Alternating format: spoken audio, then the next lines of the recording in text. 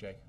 The president hasn't given a press conference since June. Uh, Do you plan on changing that, or is this how it's going to be in the second term? Well, I'm not enough.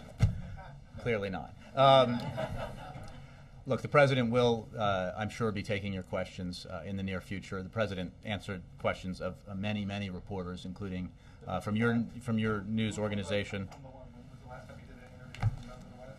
Well, I think he gave an interview to the uh, leader of NBC News, uh, Brian Williams, uh, just uh, days ago. So. Uh, From the White House press corps.